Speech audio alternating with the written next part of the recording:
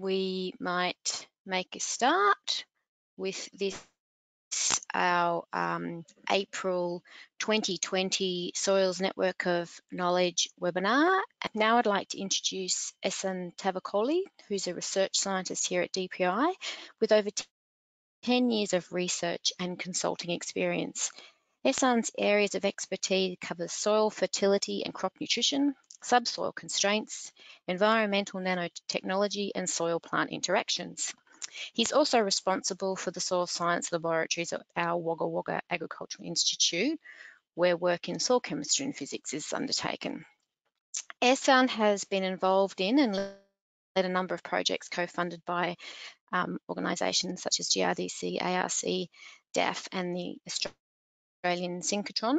He currently leads the New South Wales component of various national GRDC programs on improving wheat yields in sodic and dispersive soils, the amelioration of sodic and acidic soils, and understanding crop responses to modern fertilisation techniques with a focus on improving subsoil fertility, which is why he's giving us an update today on this topic, the magnitude of crop uh, productivity improvements on hostile subsoils. So that's the introduction bit. Thank you, Abby, and good morning to everyone who is um, online at the moment. It's good to see quite a number of people here. Um, before I start, um, I just make a couple of comments here. So um, there is a large group of um, research scientists, technical officers, and collaborators in other other organizations behind the presentation I'm talking today. Although I will focus on New South Wales component, but I just wanted to acknowledge um, a large contribution from all the co-authors of this presentation and many others that I probably didn't um, um, have this enough space to put here. So highly appreciate the um, collaborative work. And um, so the introduction that I like to, to start with is um, to improve crop productivity in hostile soils, we often have two approaches. Approach one is to manage that soil or hostile soil, depends on what the um, problem is, or improving germplasm or crop performance or genetic material in those hostile conditions. And and in a in a optimal condition, the best approach is to merge um, a crop performance or germplasm improvement with soil management to provide additive effect. So the first part of my presentation today will be an update and overview of the of the past three years of work that we have been doing um, on soil management of some sodic um, highly alkaline subsoils. And if the time is okay, I'll probably touch based on some of the work we've been doing in crop improvement space as well. So first of all, I would like to start with the uh, severity of the issue. So um, subsoil constraints, they can be um, several constraints, acidity, salinity, and sodicity. Uh, today, my focus of the presentation will be on sodic alkaline soils. Um, and, and this is um, a classic example of a recent publication um, um, expressing the yield gap associated with sodic subsoils. So in terms of the loss in economy of agricultural production, those sodic subsoils across the grains industry uh, farming systems of Australia from north to southeast and to the western um, um, uh, regions of the grains production, the estimate is about 1300 million dollar per year. So uh, in terms of um, lost opportunity, it's a huge issue.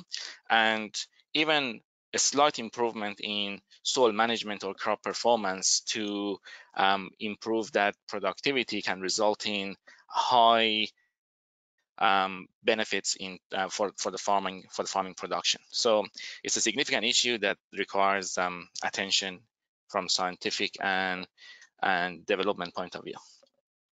Um, I wanted to take a couple of minutes to discuss um, what is a sodic soil, what a sodic soil is, and this is basically for those people who are not familiar with sodic soils. Many of the attendee I can see they are experts in this area.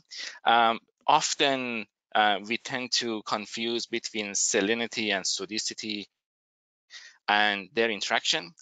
Um, in here, a sodic soil, uh, basically, if you have a clay particle, that clay particle has a number of different cations and those cations are having a different behavior in terms of uh, making the soil structure. So very similar to a human bone structure that uh, we know we need more calcium in our bone for a better structure. Those soil aggregates also requires more calcium to maintain the aggregation. And in a sodic soil, the proportion of those exchangeable cations, so it's not soluble, but it's exchangeable cations on the clay surface. The proportion of sodium, which is a smaller in terms of its size of, um, of molecule compared to calcium and magnesium, if it is higher behind, beyond a certain threshold, those clay particles tend to tend to have a poor structure. And what happens when it comes in touch with water, uh, we observe clay dispersion, and that is the um, the photo in a petri dish that you have on the right hand side of this slide. So um, if the proportion of sodium or potassium or magnesium is higher uh, beyond the threshold compared to the whole soil exchangeable capacity, uh, we have some sort of issue. Okay, what happens if you have this issue? Uh, first of all, as those um, colloidal particles start to move into the subsoil, they can block the macro and macro pores.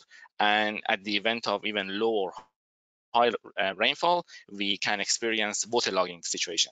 As the profile dries out, those uh, colloidal dispersion can actually sit like a concrete and make it very difficult for the roots to penetrate into the into the subsoil. So we have a structural problem in these soils and and um, if it happens in the surface, like our um, Queensland um, colleagues uh, experience in their farming system, we can also have germination issue. But um, this, and, and on top of that, these imbalanced chemistry of a sodic um, high pH alkaline subsoil can impose some sort of nutritional toxicities or deficiencies for the crop production. Okay, so this is this was and and this was a, what what a sodic soil is a saline soil is um, saline when you have high soluble salt concentrations in the soil solution, not in the exchangeable phase. So these are completely two different phenomena. And what happens is that you can experience a sodic soil, a saline soil, or a saline sodic soils. Compare um, depends on which situation you are. And if, if you want to complicate this story further, um, and pH uh, comes to the story, we have up to 16 different categories of sodic and saline soils according to their pH. Today, I want to discuss only one category, a subsoil that has high sodicity and high pH, so an alkaline sodic subsoils. When, and I will explain what are the constraints associated with, with this condition. So this slide um, is summarizing um, all these different constraints and sodic soils and saline soils, acidic soils into, into one major issue in the farming system. Whatever situation is out there in terms of soil constraints, they result in one problem in common for farming, and that is a poor water use efficiency. The concept of the work that we are developing here in the and in the future is how can we actually improve the water use efficiency in hostile soil conditions. Um, so the water is in the subsoil and the crop root cannot have access to that water because of a hostile condition that avoid or prevent the penetration of the root to the to the deeper subsoil and and then we have a reduction in yield and reduced profitability. So for the rest of this project and this discussion today, I want you to think about um, the, the whole philosophy and concept of this sort of work, both in crop improvement and soil management is to improve water use efficiency of the farming systems. Um, our colleagues, um, uh, Associate Professor Peter Sale has demonstrated in the past in the high rainfall area of Victoria that by um, adding organic amendments into the subsoil, we have a potential to transform that poorly structured hostile subsoil. So this is this is an example of the subsoil from about 30 to 40 centimeter. Um, and after four years of subsoil manuring, he was able to demonstrate how that structure can be transformed into the into the in a better structure that you can see on the right hand side of this slide. And those transformation were associated with um, yield benefits of up to 70%. So it's a remarkable opportunity here that we are trying to adopt with a broader range of products and more uh, viable um, managements. Um, I'll give you an example of the work we did in a in a in a site in southern New South Wales. Um, we call it um, a Rand site because it's located in a regional township of Rand in southern New South Wales. And I just want to explain to you what the problem is in this site. Okay, so first of all, let's focus on the pH. Um, as you can see, the pH of this soil starts from a slightly acidic to neutral topsoil, and the pH increases by um, increasing depth. So it reaches about 9, 9.2 as you go below 20, 30 centimeter. And this increase in pH in the subsoil at that, at that pH of 9 has consequences in terms of high soluble species of carbonate and bicarbonate. So um, if the pH was between 8 and 8.5, it uh, and doesn't and wouldn't go be, beyond that, it um, it didn't have that toxic effect. But as the pH goes up, it's because of the solubility of carbonate, sodium carbonate, and bicarbonate um, species uh, that can affect your root growth. And there is a paper in the handout on this topic about the speciations of um, uh, anions and how that um, interplay with the pH. Um, at the same time, the ESP, and here the exchangeable sodium percentage is the indications of um, how sodic a soil can be. Um, again, increases with increasing depths. So a non-sodic topsoil in this um, in this case, and it reaches up to 20 or 30% in the subsoil, which brings um, uh, dispersion. And as you can see in the slide be, uh, on that photo uh, below the below the below the graph, you can see increasing dispersion by increasing depths. Um, so we have a poorer structure. The the property experiences waterlogging even at the low rainfall event, and we can also expect elemental toxicities in this in this site. And at the end of uh, this list, we have electrical conductivity. So EC is um, um, an indication of how saline the soil can be. Above EC4, soils are considered to be saline. However, it's about EC of seven that the crop sees some sort of yield penalty. So the, the site is mainly non-saline in the in the top 30 40 centimeters salinity increases with increasing depths okay? So we have a situation here that we have a high ph in the subsoil we have a high esp in the subsoil and and we are trying to see if soil management can address some of these issues. However our management um, of the subsoil uh, based on putting amendments can only manipulate up to a depth of 40 45 centimeters at the at the at at the most. So we decided to test a number of different amendments in this property. We applied the amendments in 2017, so it's a one-off application. And based on that one-off application, we are monitoring the changes of the subsoil uh, chemistry, physics, and also crop productivity over a number of years to see if we get residual effect. So very quickly, I'll run you through the list of treatments that we had in this paddock. So we had either deep or surface application of organic amendments, inorganic amendments, or their combination. For example, we use gypsum. Gypsum is one of the most common um, treatments for um, uh, for sodic soils. Uh, we use some sort of organic amendments with different qualities. We use chicken manure, we use pea hay straw, and also we use wheat stubble all of these are pelletized because our machinery on the right hand side can only handle pelletized uh, products to go into the subsoil. Okay, so the reason we used manure, it has a high nitrogen and other nutrients in it, plus organic carbon, or sorry, carbon, if you like to call it. And our plant-based material or the farm-grown biomass that we pelletize them, um, we use a legume crop and a wheat crop because they have a um, differential carbon to nitrogen ratio. And we were interested to see if that additional nitrogen in a legume farm grown biomass can actually improve the aggregation of the subsoil by affecting the microbial activity. We also had a rip only treatment. So we wanted to see what is the effect of ripping only and removing that from the background effect of amendments. And um, in some of these um, uh, situations, we also had a combinations of, for example, deep placement of hay plus gypsum plus that uh, liquid uh, um, fertilizer that that we had. Um, in terms of the liquid um, um, uh, nutrients that we had, we matched the N content of that uh, uh, liquid nutrients according to the N content of our manure. So it was matching the same amount that went into the subsoil. Okay, so we have deep placement, surface placement, and the combination of some of the inorganic and organic amendments, and I will explain why we decided to combine them. So the the trial looks like this. This is the third um, year of the trial that we just completed in the end of 2019.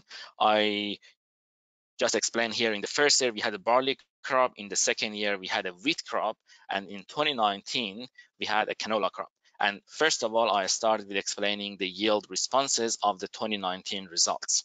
So on the left-hand side, we see the control treatment that yielded just below 2.5 tons per hectare. And um, we only experienced um, positive responses, significant positive responses in terms of yield benefit in some of the deep placed uh, treatments. And it was important to, to see those treatments which performed in the third year also were among those treatments that performed um, the best in the first and the second year of the treatment. So um, in terms of best performing treatments on the right hand side of this graph, you see uh, deep PI plus deep gypsum and deep manure are some of the best. Um, so um, and, and, and I will explain some of the mechanisms that we think is responsible for getting these responses. The RIP only treatment actually gave us um, some positive 8%, um, um, which is not significant statistically, but um, it's interesting that in the first and the second year of this study, uh, it wasn't among the best treatments or uh, among um, uh, positive responding treatments. Um, so deep placement tends to uh, provide us with some sort of um, uh, significant uh, yield responses, and we don't often observe um, significant responses from the surface applications, um, definitely for the first and the second year. So in the second year of this um, uh, work with the surface with, with the wheat crop variety Lancer, we had up to 53% yield increase. And, and that was in our when we combined PI plus gypsum plus NPK. Um, I'd like to start talking about some of the mechanisms and then in more details I will uh, explain why we think this is happening. So um, as I mentioned, these subsoils has high pH high um, ESP and also um, um, a very poor structure and dispersive um, behavior. If I um, look at the trend in terms of behavior of some of these treatments, deep gypsum application, for example, uh, it didn't perform um, in the first year, but it started to show us some positive responses in the second and in the third year of the um, experiment. And the reason for that is when the gypsum is placed in the subsoil, it takes a while for that to react with the soil moisture and, and the soil chemistry to provide that uh, depression of the dispersion. So it takes a while and we started to see some trends in the second and in the third year. Um, in, in regards with the deep PI and also our farm grown biomass, even deep wheat, um, we see an improved aggregation in these subsoils, which is related to microbial activity and the work that one of our research scientists is doing on mechanisms of this aggregation.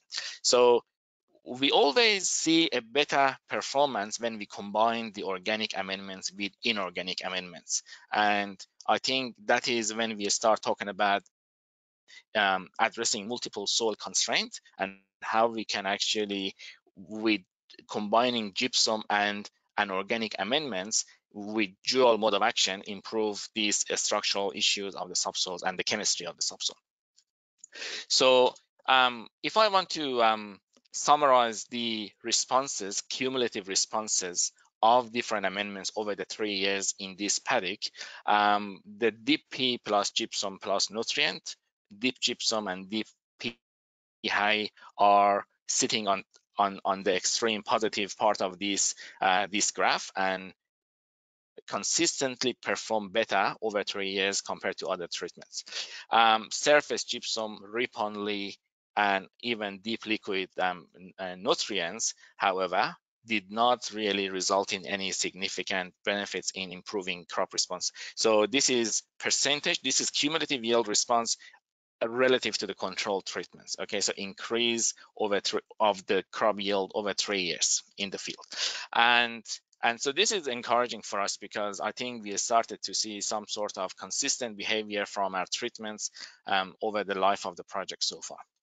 Um, so what are the other observations? Um, an important area here um, is water use efficiency and water use. And what happens if we have um, a better root growth in the subsoil, uh, that root growth can actually improve the water uptake and water use efficiency of the crop.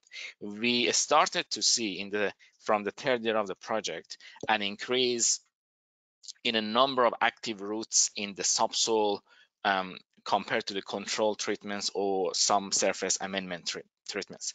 Uh, we use the core break techniques to take different cores over each plot um, as you can see in these photos. And when we look at the number of visible roots in, in that depth of 20 to 40 centimeter, you will see some of our treatments, deep manure and deep hay, and also even deep wheat and deep gypsum, um, resulting a significant increase in the number of visible roots in the subsoil. So this is an extremely encouraging because if we cannot encourage root penetration and more root accumulation in that subsoil, um, we can't actually change the pattern of water use and achieve a crop response.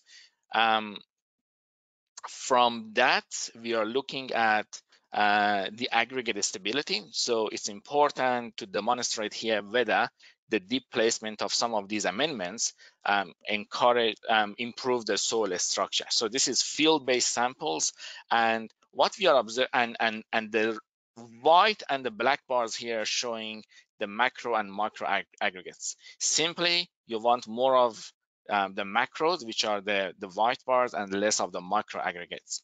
So what is interesting is that the observation is that if we have just ripping only, the second bar from the left-hand side, we often see a damaged structural um, um, um, um issues into the soil compared to the control, compared to doing nothing. However, when you have some amendments in the system, that amendment starts from the second and the third year of the um, um, that one of application to improve that um, the degradation, structural degradation. So not only that ripping only effect of 40% um, reduction in the macro aggregates is being depressed by adding some of the deep um, uh, amendments, but we started to see some positive um, structural improvements when we have deep wheat and deep hay into the subsoil. And, and we explain the mechanisms of how organic amendments improve the soil structure in a current number, a number of current publication and a couple of them that is on the way in the near future. And please see the handouts for this. Um, so, so far, if I go back again, we see a better root penetration into the subsoil, we see a better aggregation, and the two important um, um, uh, other factors are water supply and water storage. So we are also measuring the hydraulic saturated hydraulic conductivity in field and we were able to demonstrate that in the in 2019 season, um, the hydraulic conductivity of of those plots affected by a number of these treatments significantly improved compared to control. So there is always a, rip, a ripping effect on improving that hydraulic conductivity. So um, we see a 200% improvement in rip-only treatments um, compared to the control. And on top of that, when we have a deep hay or a deep wheat application in this case, we see even further significant uh, improvement in uh, uh, infiltration rates of water. And this is very important because a sodic subsoil often tends to experience transient waterlogging. And if we are able to demonstrate our work or this amendment improving the subsoil structure to let a better improvement in infiltration rate, then it's a it's a quite an important um, factor that will affect the uh, water storage and water supply by these um, hostile subsoils. Um, um, we also measure the crop water use, um, and this is, um, although I haven't converted the the neutron probe data into a volumetric water content, but simply I just want you to think about um, if this graph on and the next graphs that I'm going to show, if we see a shift to the left-hand side of the uh, of the graph, that means the soil profile is getting drier and drier, and that means it's more water uptake by the crop. So um, yield improvement is always associated with an improvement uh, in the crop water use from the subsoil. So if we cannot demonstrate here that the water use is not changing, then changing of that water use to biomass and grain yield is impossible. Um, if I compare two treatments here, control and deep nutrient application, you see that they're pretty much the same.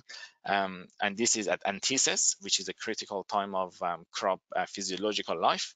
And we start to see a drier soil profile in that subsoil when we have some other treatments that also uh, improve the crop productivity. And these are the two top performing treatments, DP plus gypsum plus nutrient or DPH alone. Okay, so in average, we see about 10 or 15% improvement in that crop water use um, in this situation, which is associated um, with increased yield as well. Um, so I wanted now just to put some simple graphs together to summarize uh, some of the mechanisms that we think is underlying uh, crop performance in these soils. Okay, so let's focus on water first. Um, the control treatments in our subsoil has a pH of about nine and gypsum application often reduces that pH. So this is very important because as I mentioned in the beginning, we can experience um, uh, carbonate and bicarbonate toxicities in these soils and um, reduction in pH will eliminate that toxicity. What happens is that gypsum will react with soluble um, uh, carbonate, sodium carbonate, and it participate that carbonate as calcium carbonate. And that calcium carbonate participation lowers the pH. So that's very um, important. That depression in pH also depress the dispersion of the soil. So it's very important because the high pH itself is one of the reasons that the soil is disperses. Organic matter or nutrients plus organic matter doesn't have that influence on pH. So it's a pure gypsum effect. Then we look at ESP.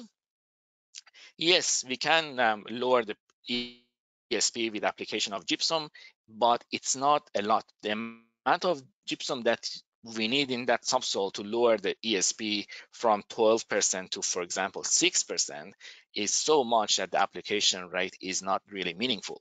So if you see that um, 2% reduction in ESP, it doesn't really help to reduce the dispersion of the soil, but the gypsum effect is more pronounced on the pH. Um, again, the organic matter or organic matter plus nutrient doesn't have much influence on, on soil ESP.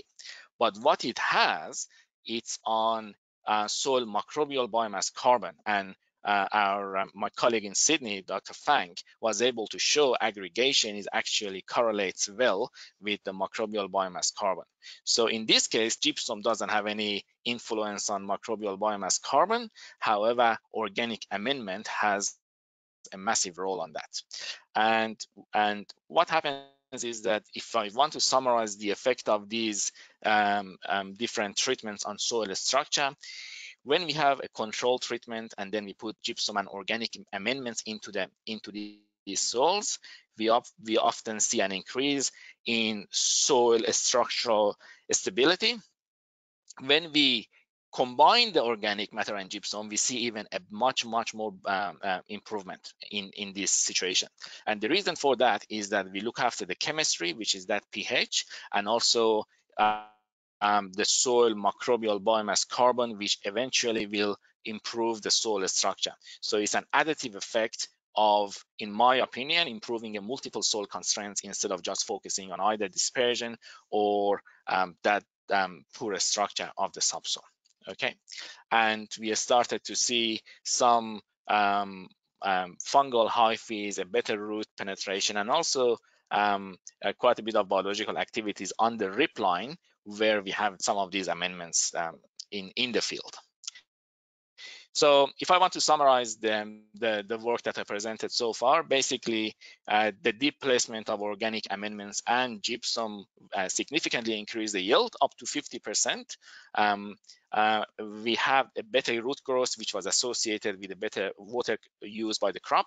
And in terms of mechanisms, I think a reduction in the pH of the highly alkaline subsoils with enhanced organic uh, uh, carbon in the soil that eventually work as a glue for improved aggregation uh, led up led into a fourfold improvement into the into the soil structure.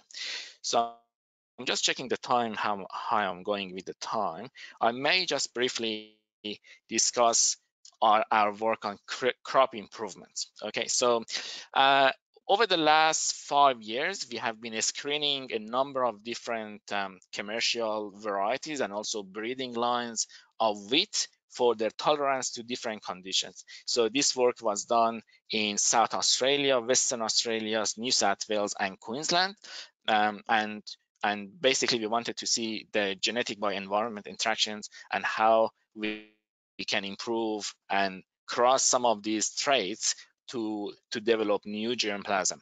Um, the work that I'm going to talk about today just briefly touch based on some of the variation, genotypic variation that exists in regard in response to some of these alkaline sodic subsoils and and um, I won't um, go into much further details. So basically, um, we had a number of varieties over the last um, two years, um, and this is just the the project is for five years, but I'm just talking about the two years of um, that of the of the final stage of this project.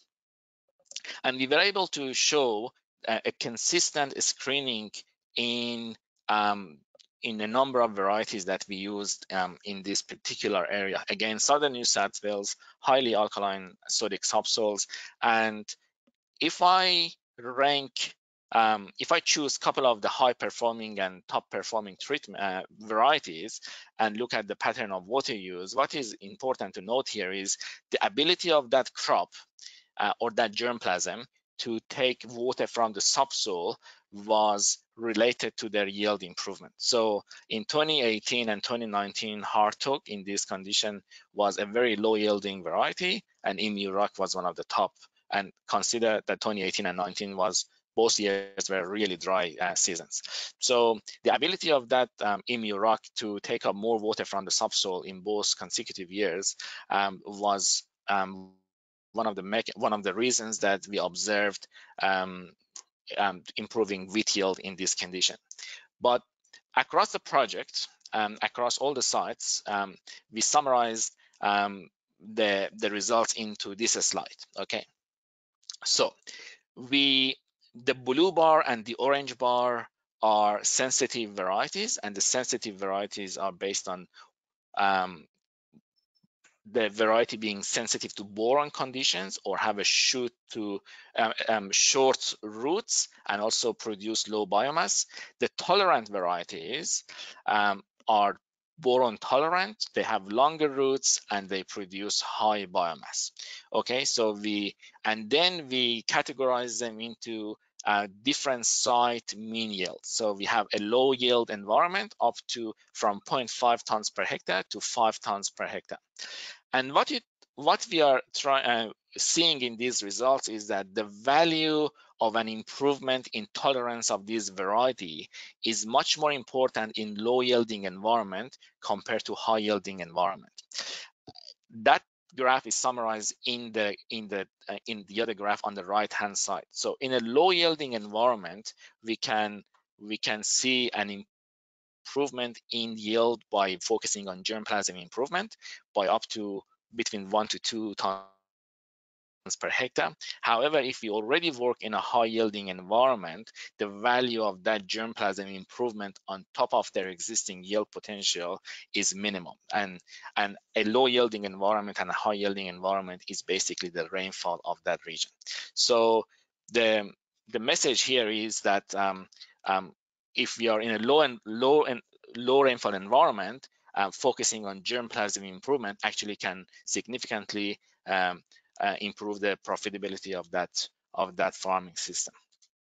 Um, also, we are screening these varieties for um, their tolerance to subsoil ESP and pH.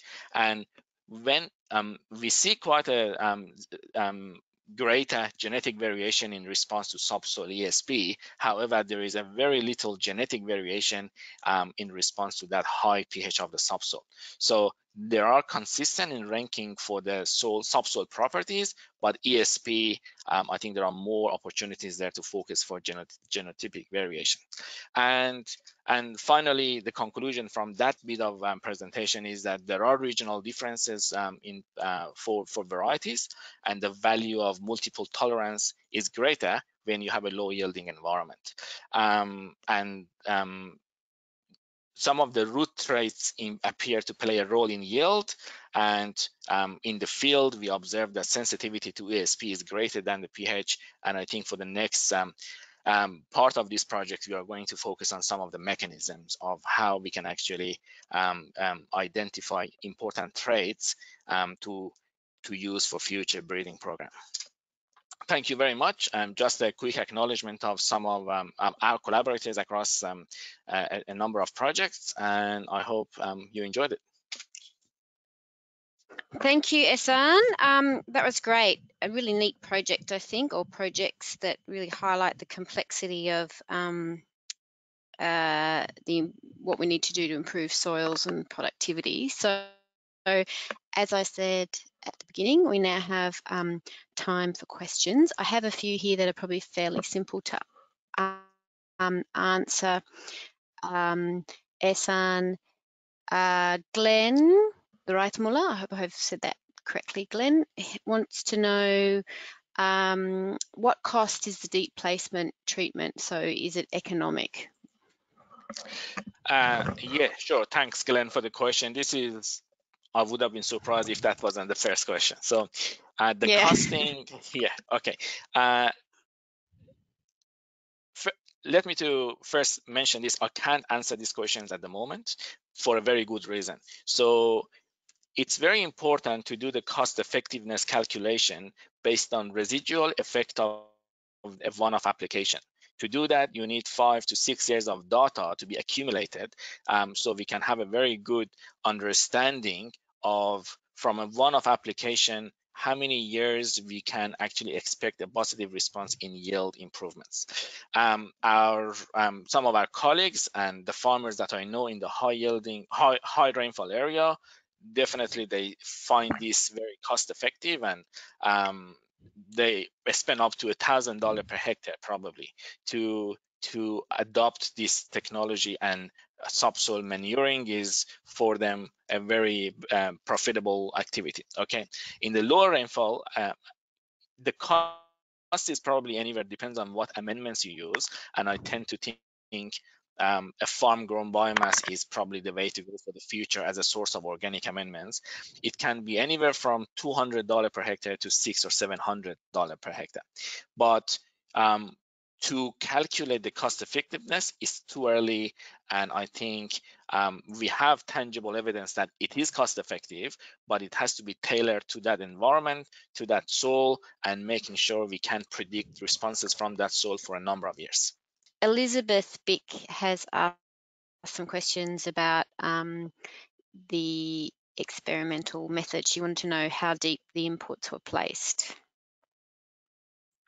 Um, so in the handout, you can get more information about the machinery that we use. So it was designed and fabricated by New South Wales DPI. We uh, so it has a dual delivery depth um, capacity. We can put the amendments in a in a banded conditions at about 18 and 38 centimeter. So really pretty much um, we go as deep as about 40 centimeter max but the amended are in not continuous in two separate band um, at two layer, um, starting from about 18 to 20 centimeter. Capacity to also put simultaneous um, nutrient, um, organic and inorganic amendments at the same time. Elizabeth also said uh, was there one application at the start or repeated yearly? So I think you've probably Um, it was a one one-off application. And then Dr. Azam has asked what proportion of the subsoil was amended by deep placement? No, no, it's not in the paper. So that's also a very good question. I would say um, on a hectare basis, about 50 to 60% of that one hectare is going to be amended Okay. with with this machinery. But but, but please remember, this is a research built purpose machinery. It's not a commercial machinery, it's just a prototype. And the commercial machinery will have a very different capacity compared to our work here. Yeah, that's good to remember. Uh, the next question we got in was from Steve Kimber. Um, and Steve said, did you consider the uh, stoichiometric dose of nutrients rather than simply matching poultry manure?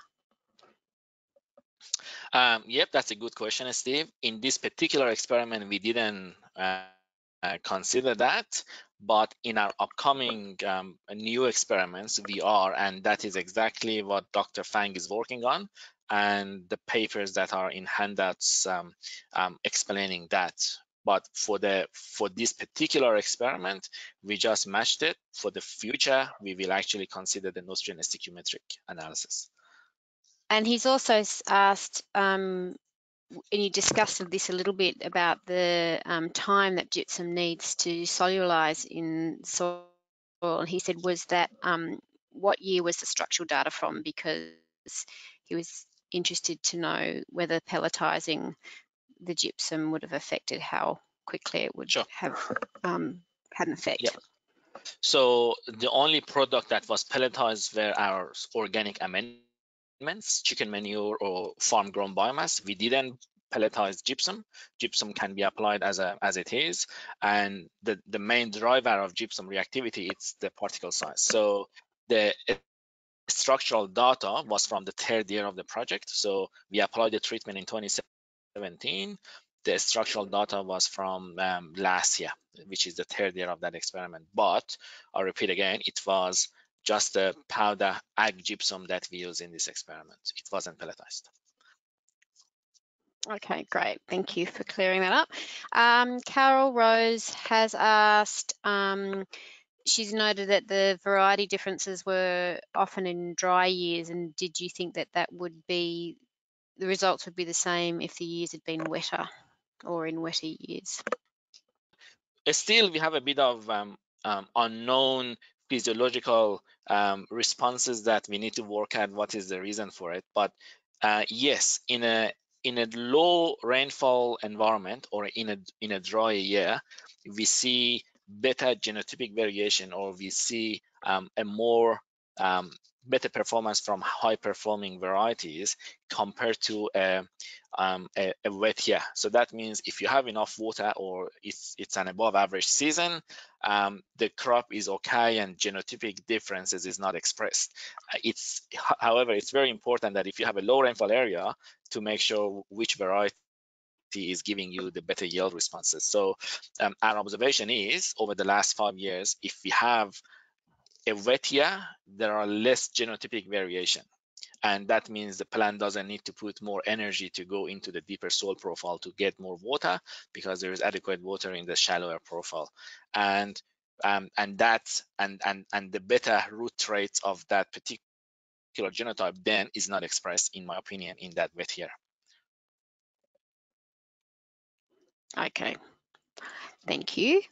Um, Cameron Gooley's got a question, and um, I think it might be similar to what Steve was asking. He said, can you explain how you dealt with the differences in nitrogen inputs, including the difference in nitrogen dose and supply rate from the different treatments in the first study that you presented?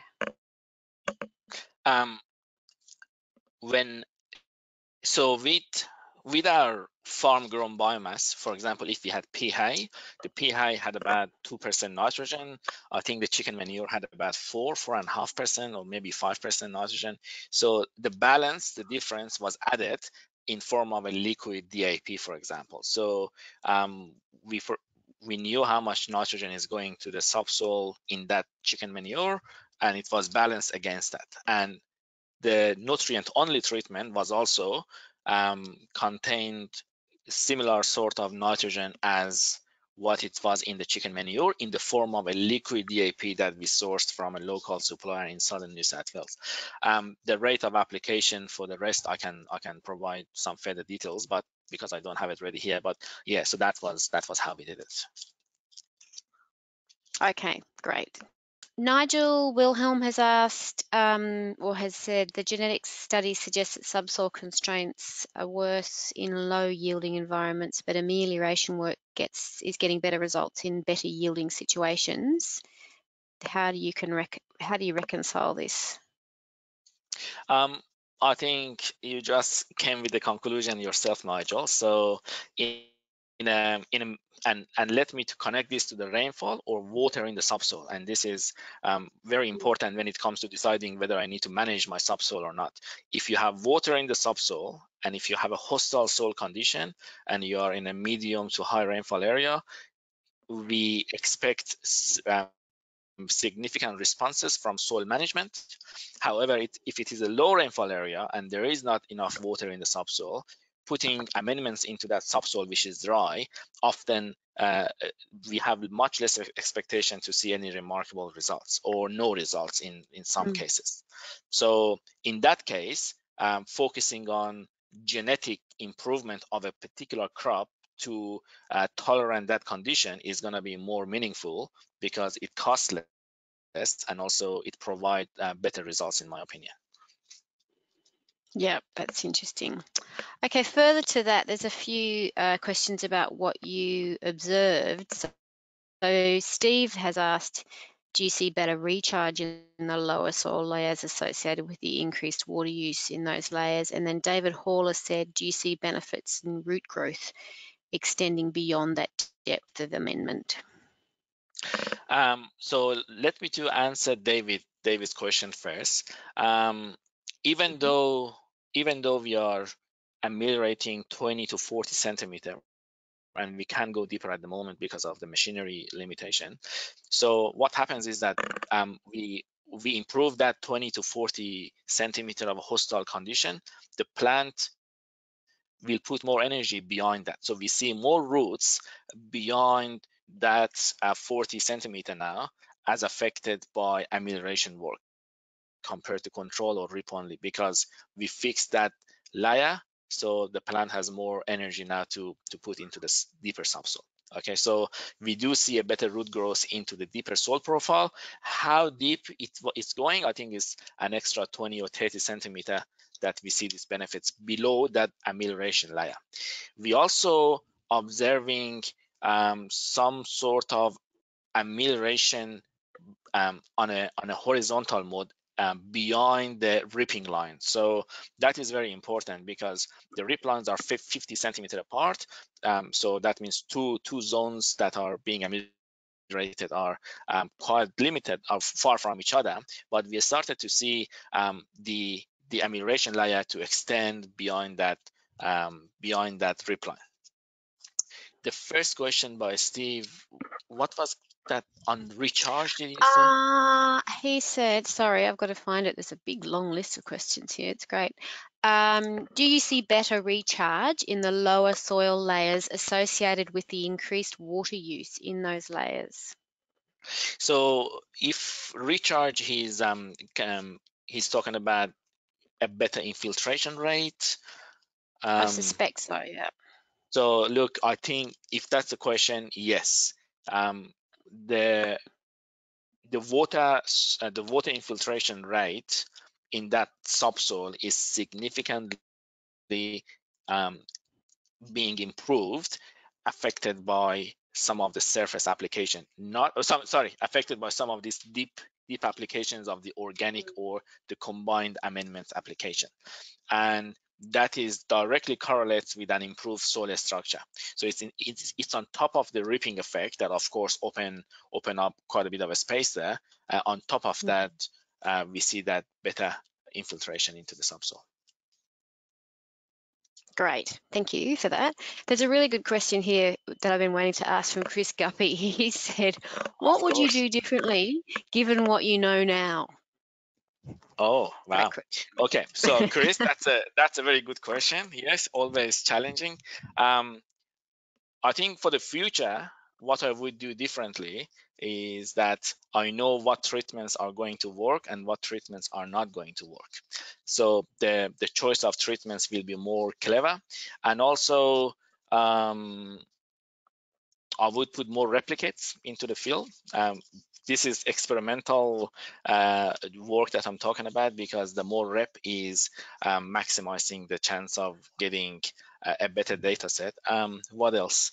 I think we improved our machinery since 2017. So if I want to put the next trial in, um, that machinery improvement definitely will be will be one of the major uh, reasons for a better trial to go in. In terms of, um, yeah, so, but I'm happy to discuss this further over the phone because I think quite a few good suggestions will come as well. That's great. Okay. Um, uh, we've got a question here from Tal Cohen, um, who said, uh, is there any interest in investigating micronized liquid suspensions of gypsum at depth versus granular gypsum? And he said in relation to particle size and reactivity. Yeah, great question. I think yes, the answer is yes. And I personally believe the future of agriculture is in liquids. And look, um, in terms of improving the formulations of gypsum in sodic soils and lime in acidic soil, that particle size and their reactivity and mobility in the soil is going to be improved further um, if we manipulate that particle size it's it's something that I'm working actively in that area as well. So definitely um, an important area to investigate. In fact, I think from next year we are going into the field to to test some of these um, sub-micron size or even nano-structured lime and gypsum in different acidic and sodic conditions.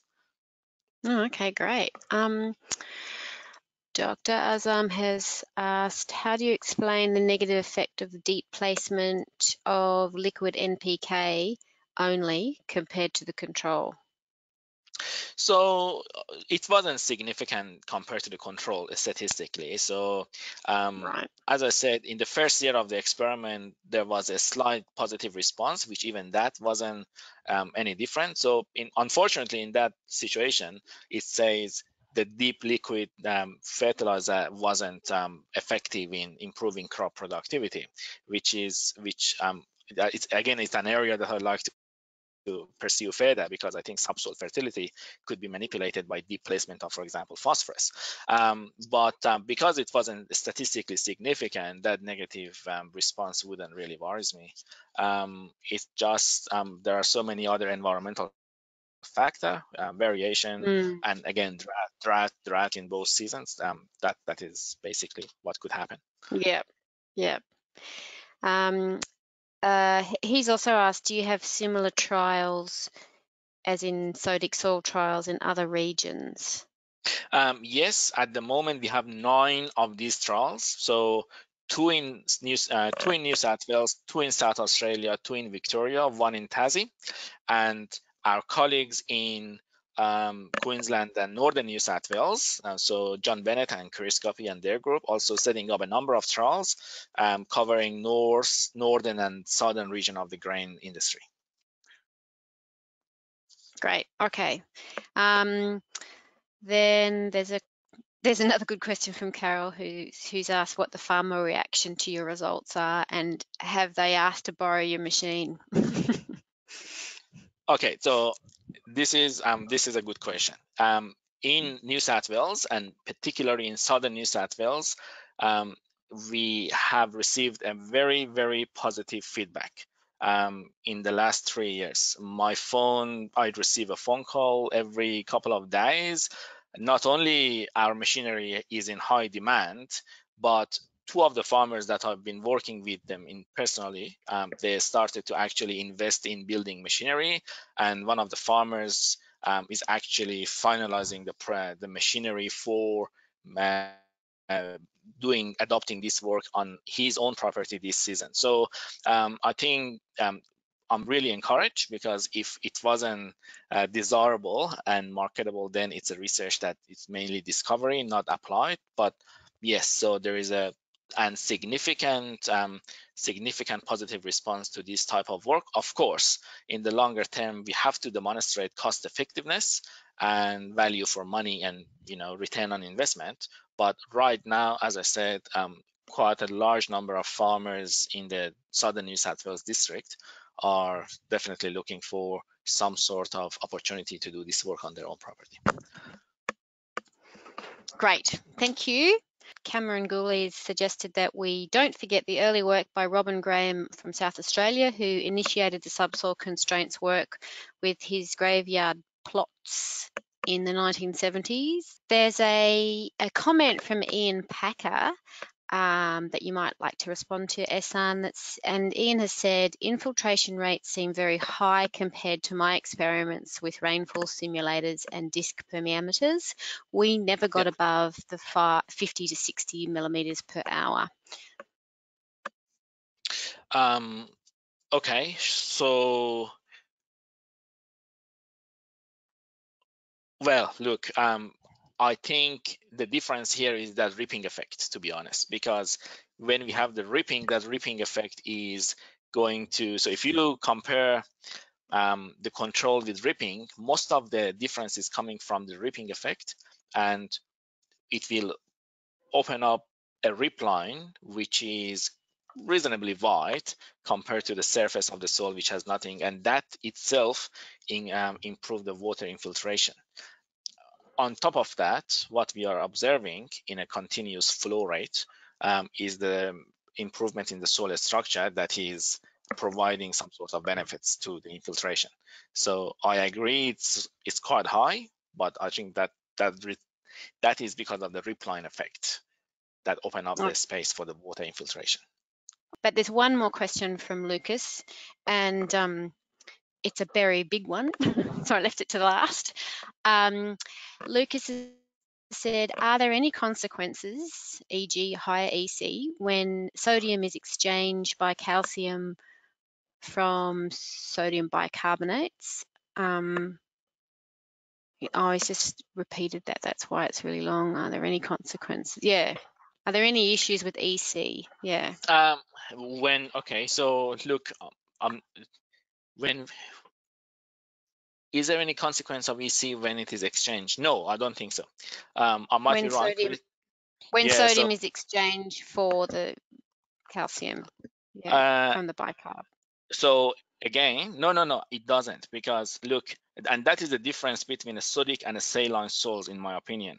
For the for the saline soil, you need to have um, high amount of sodium in a soluble form in the soil solution but the exchangeable sodium is not going to be that high when you're exchanging it with calcium um, with gypsum to actually um, to to increase the EC to a saline condition. So it should not be it should not have a consequence. Okay. That was a good, simple, clear answer. Thank you everyone for those really great questions and Thank you, Ehsan, for that really great presentation. A lot of people have said thank you and uh, thank you for the really clear way you presented it and your very clear and simple answers to their questions as well. So thank you for that. And also that on that slide that you're viewing now, if you wanted to look at other webinars that we've got up um, from, from previous months or years, you can do it at, two, at both of those uh, sites. So there's a DPI YouTube site and then there's a GoTo site. Um, so you don't need to miss out on anything. Thank you once again, Ehsan. Thank you everyone for attending and uh, we hope to see you all next month. Thank you. Thank you everyone for coming to this presentation.